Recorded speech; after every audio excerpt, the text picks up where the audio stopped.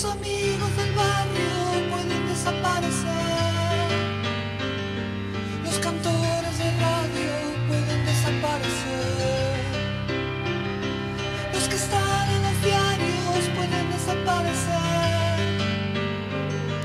La persona que